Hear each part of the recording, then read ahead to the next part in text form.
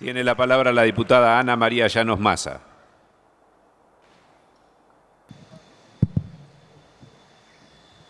Señor presidente, señores diputados, bueno, continuamos como el compañero Igón, eh, defendiendo la Patagonia, defendiendo Comodoro, defendiendo toda la Patagonia en su totalidad. Tenemos familias asignadas a vivir en la marginación, en la pobreza, eh, en zonas despobladas, en zonas donde realmente hace falta que el gobierno nos pongamos todos a trabajar.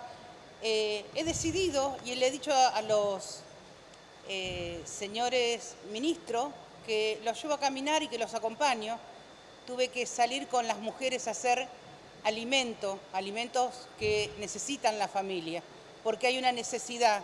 Y si hoy tocan estas asignaciones familiares, que tocan el consumo interno, que tocan la familia, que tocan la alimentación, fuimos a comprar eh, este fin de semana hicimos 60 eh, kilos de harina, hicimos videos con las mujeres y fuimos a comprar la bolsa de harina, salía 600 pesos masiva.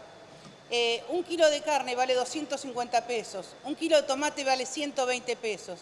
Si nosotros tenemos este consumo dentro de nuestra familia, que con la asignación familiar comen, se visten algunos, pero mayormente al señor ministro, eh, le pedimos que por favor y al señor presidente se ponga las manos en el corazón y que revea esta situación, porque la Patagonia nos vamos a poner de pie, porque no nos vamos a dejar que nos lleven nunca más ya eh, una quita, como hicieron con los puertos, como hicieron con todas las asignaciones que siguen haciendo y con todos los reembolsos. Nos vamos a poner firme y nos estamos juntando, vamos a seguir teniendo reuniones porque necesitamos defendernos.